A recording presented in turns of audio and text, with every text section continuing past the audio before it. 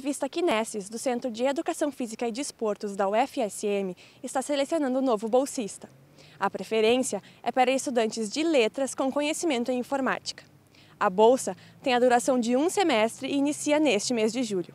Os interessados devem entrar em contato com Maria Cecília através do e-mail que está aparecendo na tela ou pelo ramal 9416. Vitória Londero, para a TV Campus.